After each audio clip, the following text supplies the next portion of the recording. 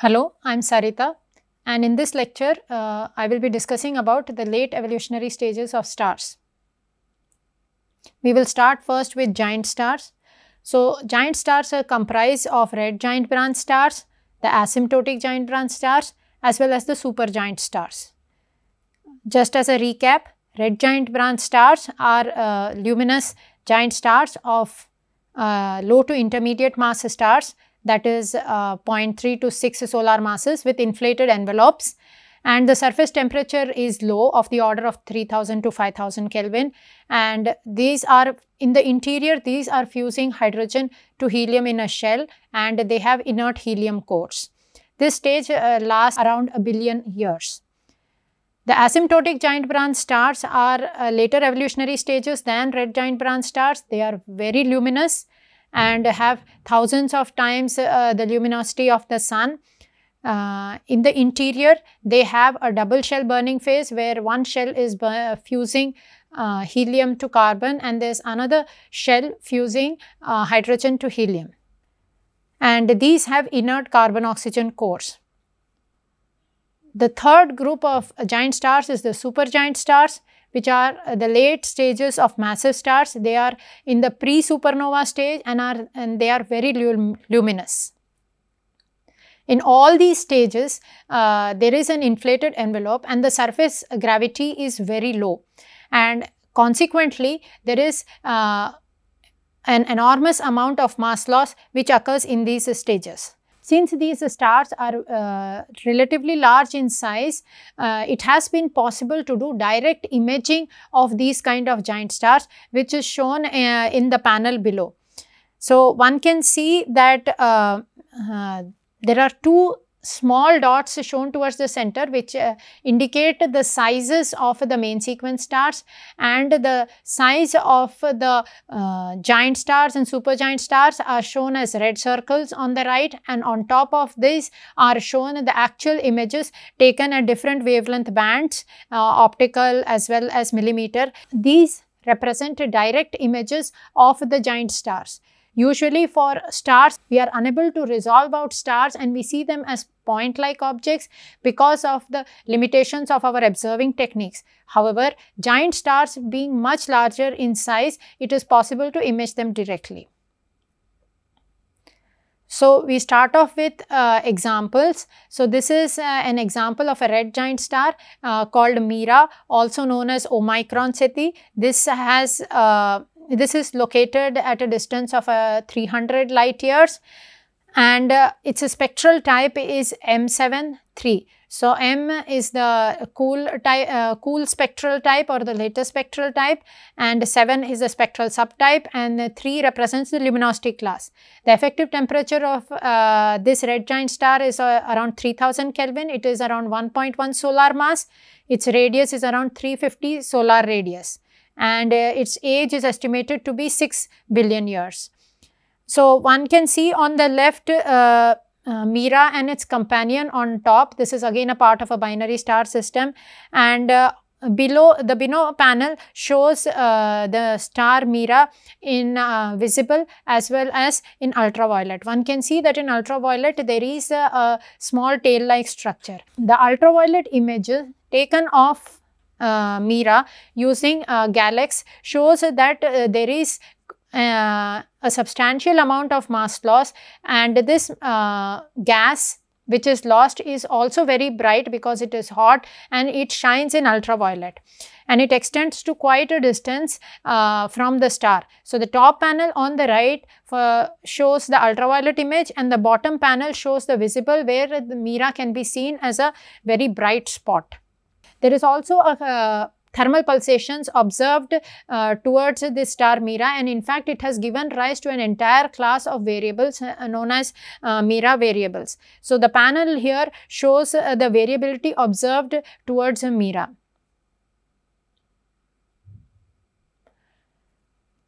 Next we come towards the asymptotic giant branch stars.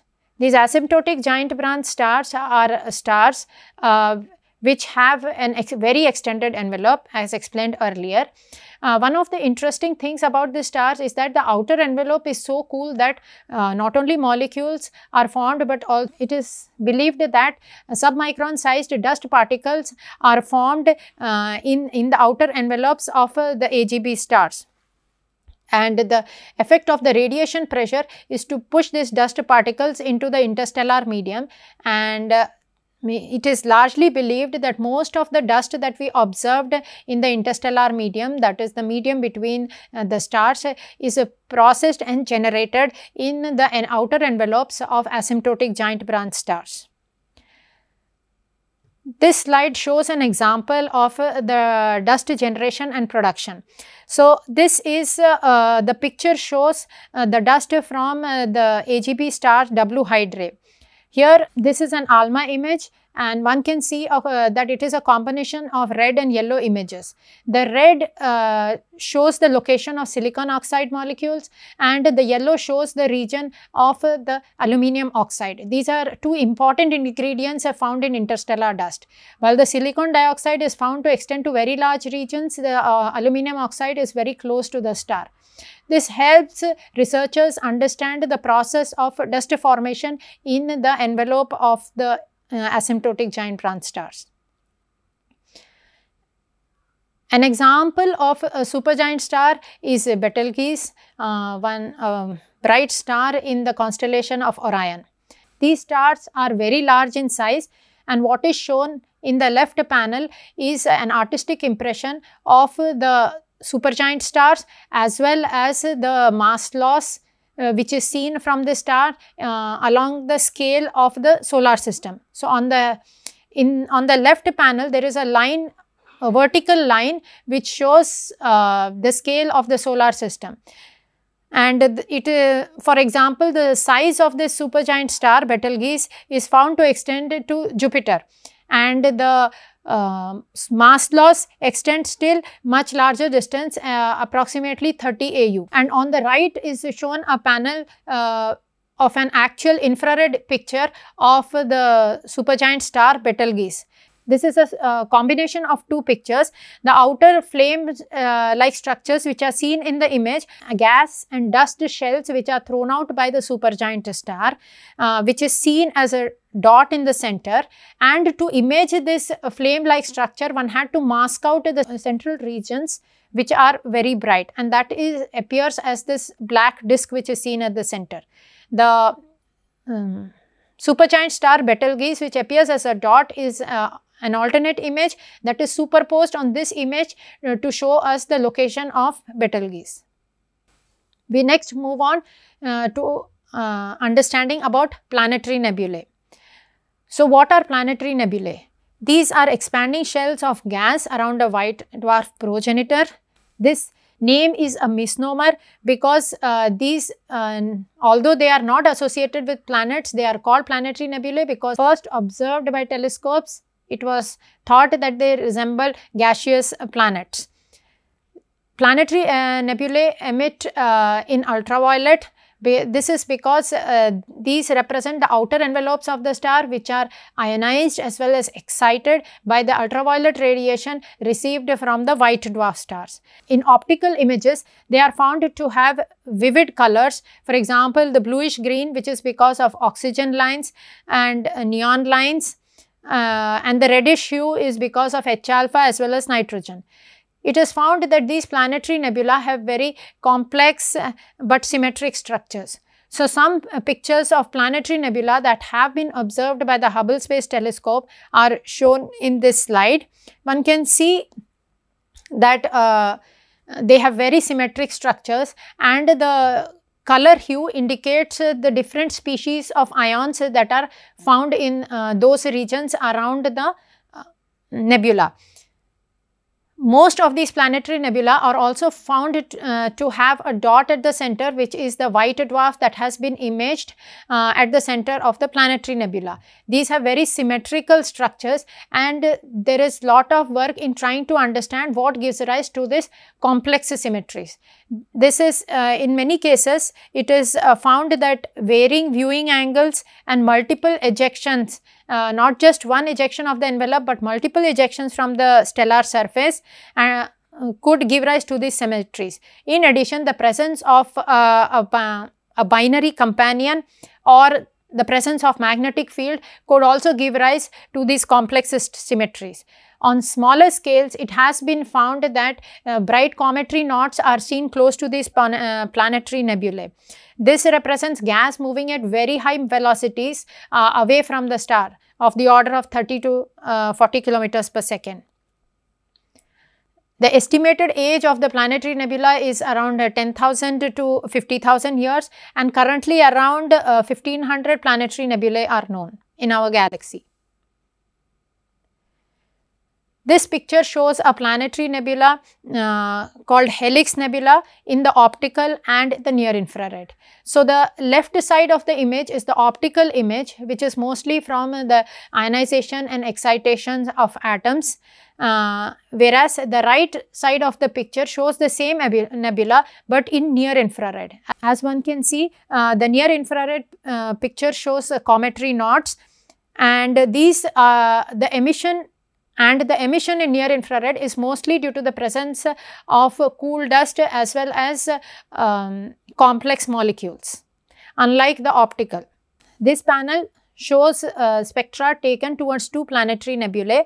The left side shows the spectrum of a planetary nebula in NGC 1501. NGC is a catalog of uh, nebulous objects and one can see a number of uh, emission lines and uh, these are high excitation and high ionization lines. For example, one can say O6, O3 and uh, ionized helium, ionized oxygen lines. Uh, on the right is another planetary nebula Sextans A and again one can see that there are a large number of emission lines uh, towards this nebula. Based on these excitation lines, people try to derive the physical conditions in the nebula and understand the uh, evolutionary stages. Although planetary nebula have been observed in different parts of the galaxy, in order to get, get an estimate of ages of these planetary nebula, uh, one area of research is to, uh, is to associate the planetary nebula with a given cluster. So, this uh, work for example shows a planetary nebula Abell 8 and uh, the researchers Turner et al have tried to uh, associate this with a cluster called Bica 6. Uh, the planetary nebula is seen as a ring-like structure in the left side image and on the right side image uh, we can see an HR diagram where uh, one can see the main sequence uh, stars of the cluster as well as uh, the stars which have evolved off the main sequence. The central star of Abell 8 as one can see lies in the white dwarf region of this HR diagram.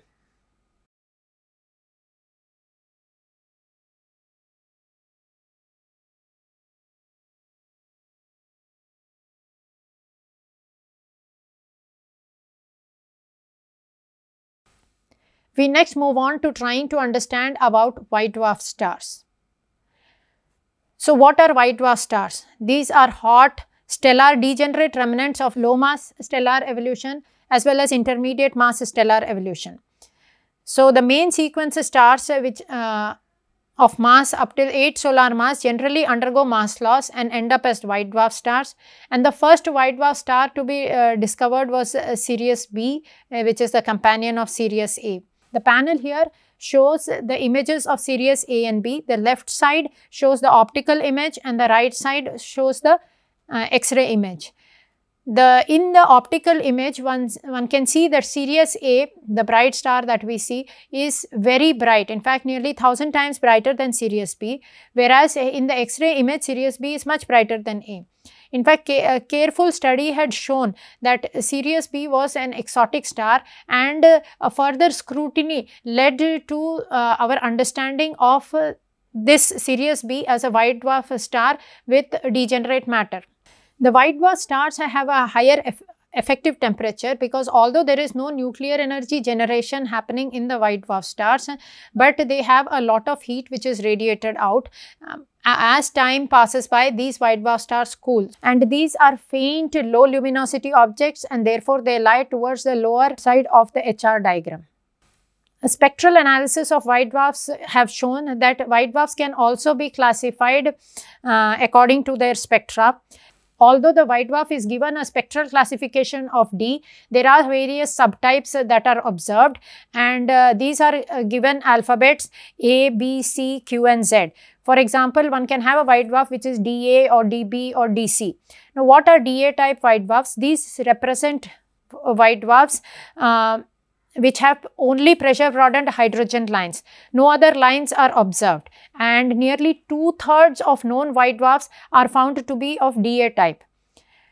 And DB type uh, white dwarfs are those where only helium absorption lines are observed and hydrogen lines are nearly absent. Around 8% of known white dwarfs are uh, found to be of DB type. The DC are those where only continuum is seen and no absorption lines are seen and 14% of the known white dwarfs are found to be of this category. Then one has also found white dwarfs uh, which are a bit different and these are given the nomenclature of DQ and DZ. DQ if carbon lines are seen in the spectra and DZ if heavy metal lines are seen in the spectra of white dwarfs. This panel shows the spectra of uh, white dwarfs. On the left panel, one can see the uh, four DA white dwarfs in the globular cluster NGC uh, 6397. This spectra are in the optical regime, so the Balmer lines are clearly seen. And uh, on the right hand side, the optical uh, spectra of known uh, white dwarfs in the having spectral types DB, DC are also shown what is the origin of these different spectral uh, classes of white dwarfs?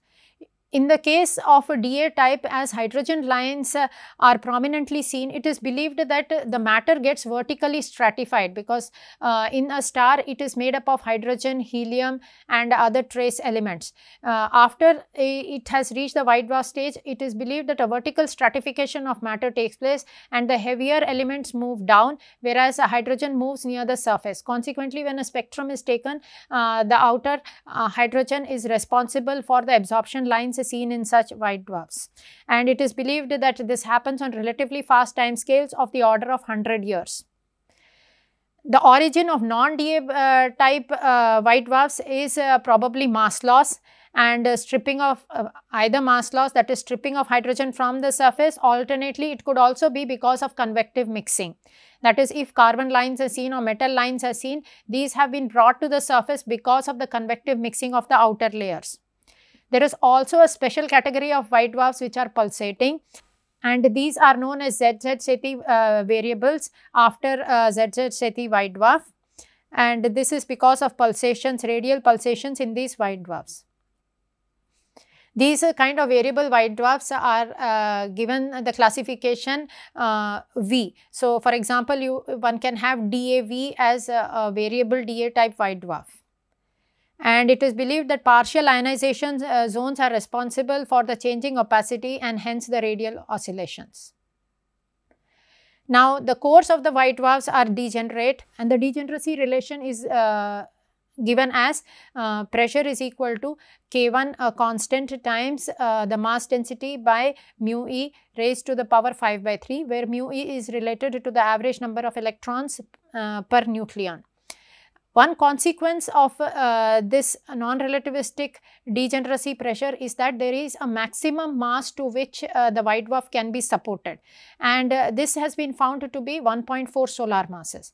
And if the mass of the white dwarf uh, exceeds 1.4 solar masses, then the electrons uh, become relativistic. They are degenerate but become non-relativistic. However, this kind of matter is highly unstable and uh, it undergoes collapse. And another consequence of uh, this degeneracy pressure is uh, a mass volume relation. It has been found that the mass uh, multiplied with the volume of white dwarfs is constant. That is, mass is inversely proportional to volume. higher the mass of the white dwarf, smaller is the volume. This can also be understood from uh, our understanding of the degeneracy pressure. More the mass the white dwarf has, uh, the denser it should be in order to generate higher degeneracy pressure. We next look at uh, this category of stars known as neutron stars. These are uh, remnants of high mass stars, the cores which are supported by neutron degeneracy pressure. The existence of such kind of stars was first proposed in 1934 um, and as neutrons are also spin half particles, it is believed that they are responsible for uh, the hydrostatic equilibrium which is holding up the neutron stars. In these cases, the matter is very dense and uh, the densities can reach as high as 10 power 17 kilogram per meter cube. For white dwarf stars, this uh, one can imagine that uh, this if the mass is of the mass of the sun, then the size of the white dwarf uh, will be roughly the size of the earth. That gives us an idea of the density of the white dwarf star. In case of neutron star, if one assumes that the mass of the star is greater than 1.4 solar masses, uh, the size that one is uh, expected to have so that uh, neutron degeneracy pressure supports it is expected to be around 10 to 15 kilometers which is which means that the matter is extremely dense uh, that is it can exceed the atomic density. So, if we consider a neutron star whose mass is uh, 1.5 solar masses, then the surface gravity is of the order of uh, 10 power 12 meter per second square. And the escape velocity is uh, a high fraction of the velocity of light. Now, what is the structure of these kind of neutron stars? One needs to understand the equilibrium configuration of the nucleons that are present as well as electrons that are present because these are neutral as well as some iron nuclei that are present. So, there are a lot of models to help us under, understand the uh, structure of these neutron stars because the nature of matter at such high densities uh, is not known to us. So, the proposed structure of the neutron star is shown here and uh, one can imagine a neutron star to have various layers outer crust inner crust and which is shown in the left hand side panel. And the anticipated densities are also listed. You have an interior which is a superfluid of neutrons protons and then a core where the matter density is so high that uh, we are not certain of the various particles that are present there and the particle interactions that are possible.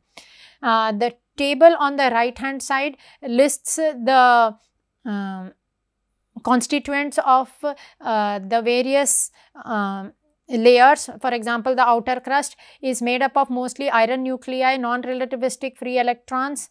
And as you go inward these electrons become relativistic. And in the inner crust one can see that there is neutron neutron rich nuclei and this is supported by neutron degeneracy pressure. And as one goes towards the uh, core or the center of the neutron star the densities become so high uh, that the various particles are produced and one needs to have a better understanding of the physics in these regions.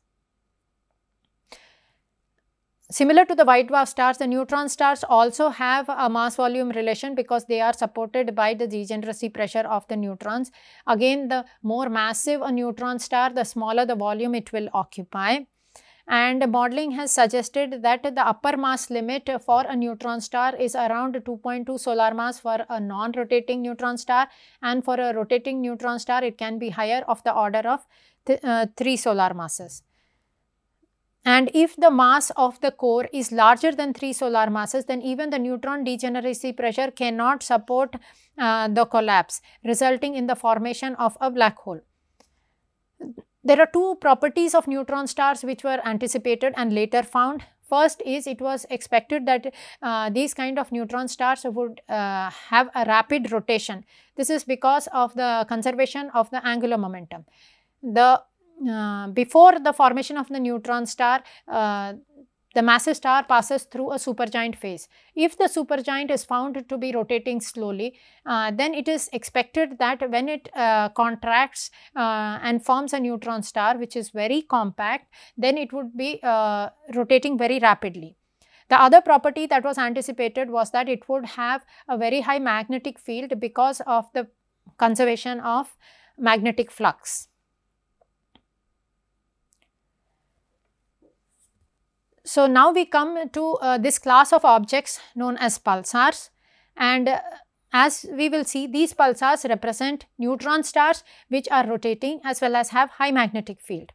So, uh, how were these objects first found? So, Jocelyn Bell and Anthony Hewish in 1967 were actually uh, were setting up a number of uh, radio dipole antenna in the English countryside and uh, they found that uh, there were uh, certain blips which were very regularly spaced and uh, after eliminating all sources they re realized that this is actually from a cosmic source. They were puzzled because these were uh, separated by uh, very precise duration uh, of 1.337 seconds. This pulsar uh, we now know is the pulsar PSR 1919 plus 21 at that time, various models were proposed to understand the nature of uh, these precise pulses. This included uh, binary stars, pulsating stars and rapidly rotating neutron stars. Based on the period of pulsation, the binary star and the pulsating star ideas were discarded and uh, it is now known that these pulses arise uh, due to the rapid rotation of uh, neutron stars. Currently, more than 2000 pulsars are known and observations of these pulses of light have been carried out across a range of wavebands and the uh, and the pulse duration varies uh, from milliseconds uh, to tens of seconds. This is a simplified model of our understanding of uh, how the pulses of light are generated. So, in uh, this figure for example, one can see the neutron star at the center, the spin axis is shown and the magnetic axis which is uh, distinct from the spin axis is also shown diagonally. Now, when uh, the neutron star is rotating very rapidly, the magnetic axis also rotates uh, uh, the magnetic field is a dipole field and one can uh, imagine uh, the magnetic lines are shown in blue in the panel. Now, along the poles, uh, magnetic poles, the magnetic field is very high and it is expected that uh, the relativistic electrons which are present in the outer regions of the neutron stars can get accelerated relativistically around uh, these magnetic field lines and in the process uh, generate a synchrotron radiation. And therefore, what we see as pulses uh, is the outcome of the synchrotron radiation near the magnetic poles as the magnetic axis is rotating about the um, is rotating about the rotation axis, the pulse of light also seems to rotate very much like what one observes in a lighthouse. I would like to reiterate that this is of course a very simplified model and uh, um, research has shown that pulses are far from simple. They have various structures and uh, the pulse duration varies. So, a number of effects need to be considered uh, in order to understand the radiation emission mechanisms and the structure close to a neutron star. Now, some of the basic properties of the pulsars are uh, listed here most pulsars have uh, periods between 0.25 seconds that is uh, few milliseconds and seconds. And they are extreme they have extremely well defined periods. That is uh, the they can be the pulses the pulses are precise uh, up to 15 to 17 decimal places. This is because the pulse duration is very short and uh, the time period between the pulses is also short, uh, allowing us to make uh, innumerable measurements or a very large number of measurements giving rise to these precise time periods. In addition, it is also found that uh, these uh, periods are slowing down with time of the order or that is uh, p dot that is the rate of change of period is of the order of 10 power minus 15. Below what is shown are the um, pulses observed from three pulsars at uh, radio frequencies and each panel shows the pulse shape at different frequencies. One can see that at different frequencies the pulse shape is slightly different and other uh, effects need to be uh, considered in order to understand this change in the shape of the pulses.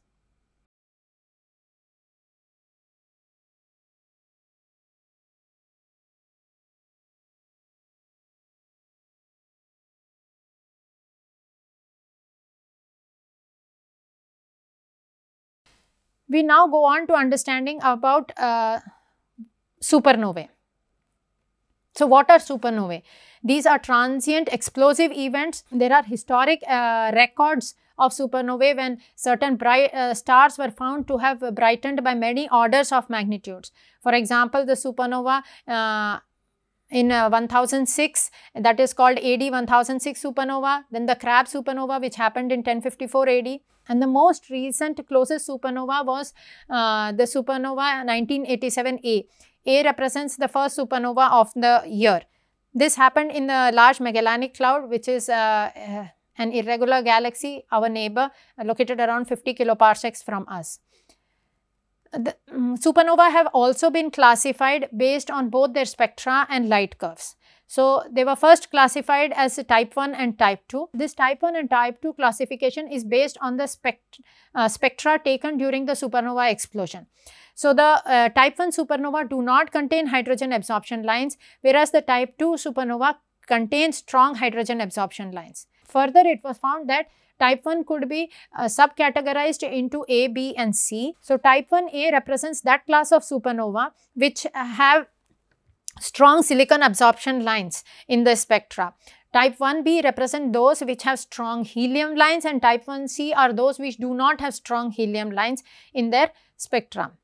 And this classification is uh, evident in this slide on the right and the spectra of uh, the various classes is uh, shown in the left panel. For example, the top spectra is uh, supernova type 1a and uh, which uh, type 1a which does not show hydrogen lines but it shows the uh, silicon lines absorption lines. Then the next one is the supernova type 2 and one can see that there are uh, strong absorption lines the h alpha h beta h gamma. There are also other lines. And uh, type 1b uh, type 1b and type 1c are shown below. Uh, and one can see that there are helium lines in 1b which are absent in 1c This slide shows the light curve of the supernova. As these are transient explosive events, we measure the brightness as a function of time. Uh, the left hand panel uh, shows the type 1 supernova light curve and one can see that it has a very characteristic light curve. Uh, the uh, radiation from the supernova increases, it reaches a peak and then falls down and then falls more slowly. On the right hand panel, we see the type 2 supernovae, uh, but the light curves again show a distinction. One can see that there are type 2p uh, supernovae as well as type 2L supernovae. So, the P represents uh, the pl plateau in the supernovae light curve. So, one can see that there is a plateau variations in the light curve are related to the radioactivity and genesis of uh, nuclear elements during the uh, supernova phase. During this supernova, an enormous amount of energy is released, uh, making the star brighter uh, than even the galaxy. For uh, it is anticipated and it has been it has been found that nearly 10 power 46 joules of energy is released, uh, but not all of it goes in radiation. Only around 0.01 percent of this energy is released as radiation. 1 percent of this energy uh, is believed to be responsible for the kinetic energy of the uh, ejected material and the rest of the energy more than 99 percent is in the form of uh, neutrinos. In fact, the neutrinos from cosmic object other than the sun was for the supernova 1987A from the Kamiokande detector in Japan. We now know that supernova type 2 as well as type 1b and 1c are related to the uh, evolution of a single massive star leading to the formation of a neutron star. That is, this, these uh, classes of supernova represent the core collapse supernova as explained earlier. What explains the type 2 versus type 1b and type 1c for the core collapse supernova? Uh, the type 2 have uh, the hydrogen absorption line. So, it is believed that these arise because of uh, explosion of the supergiant star as a supernova. However, uh, type 1b and 1c do not have hydrogen in their spectra and it is believed that this is uh, because of the loss of hydrogen uh, from the envelope probably because of mass loss. The type 1 supernova on the other hand is not associated with the evolution of a massive star. Uh, this uh, result has been arrived at because these type of supernovae have been observed in a large number of galaxies where massive stars uh, are either not present or uh, if they are present are expected to be in very small numbers. Uh, therefore, it is believed that type 1a supernova is not due to the core collapse of a massive star. Uh, we now uh, associate type 1a uh, supernova with a white dwarf system that is a white dwarf in a binary system and when this white dwarf uh, uh, takes in material, accretes material from the companion, then it can become massive and it can explode uh, as a supernova in the later evolutionary stages. So, this slide shows uh, the Crab supernova remnant. Supernova remnant represents the nebulous surroundings of the um, progenitor that is the neutron star or the black hole that is it represents the uh, energy transport of the supernova to the surrounding interstellar medium which becomes so hot that it emits in x-rays ultraviolet and a whole uh, range of wavelengths. Here what is shown in this panel is the Crab supernova remnant and at the center one can see uh, the Crab pulsar. The vertical panels on the right sh uh, shows an enlargement of the two stars seen at the center, one of which is the Crab pulsar. Therefore, one can observe that uh, one of the stars uh, uh, brightness remains constant whereas the brightness of the uh, pulsar is increasing with time and then decreasing which is, indicates the pulsating nature of the uh, crab pulsar. The crab supernova uh, remnant in this panel is shown across a range of wavelength bands from radio to infrared to visible light to ultraviolet, X-rays is shown in the middle panel below and then gamma rays. One can see that this Crab supernova remnant looks very different in different wavelength bands. This is because at in different wavelength bands, uh, the emission that is being received uh, is the result of certain characteristic physical processes. Therefore, by studying uh, a particular object in a given wavelength band, one can understand the physical processes associated with that wavelength regime. In X-rays, for instance, one can clearly see um, uh, the jet-like emission from the crab pulsar as well as a disc-like structure around it. This shows a number of supernova remnants. Crab is shown in, in general, uh, 3C48 is shown in the panel below and also the Tycho supernova remnant is uh, seen as a spherical remnant on the right side of the image. Now we go to the um, other class of compact objects known as the black holes. So, black holes represent the ultimate gravitational collapse of a massive star. Now, if the it is uh, expected that if the initial mass of the star is greater than 25 solar masses, uh, then it will result in a black hole because it exhausts all the sources of nuclear fusion and the mass of the core is sufficient uh, for it to overcome uh, the neutron degeneracy pressure.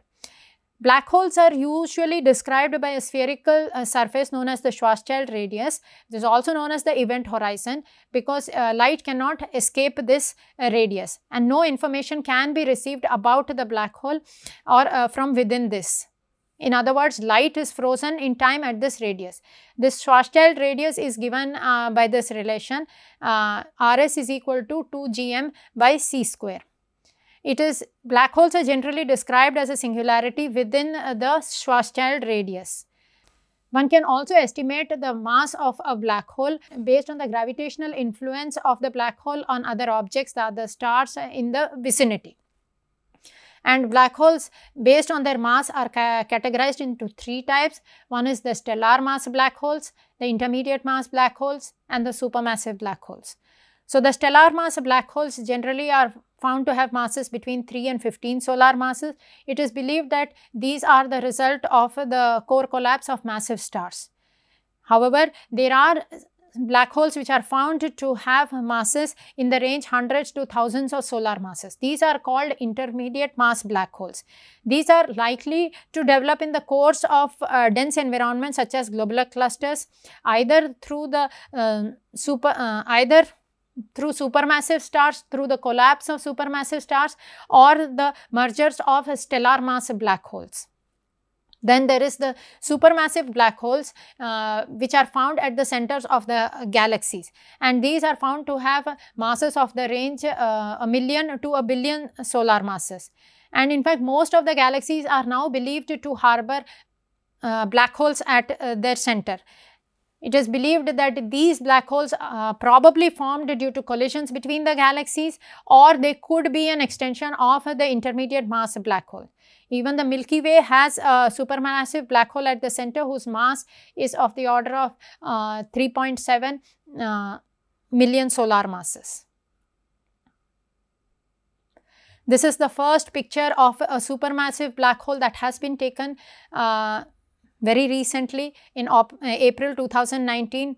Uh, this shows the center of the galaxy M87 and this has been carried out by the, a large collaborative effort uh, in the Event Horizon Telescope collaboration. And with this I stop. Thank you.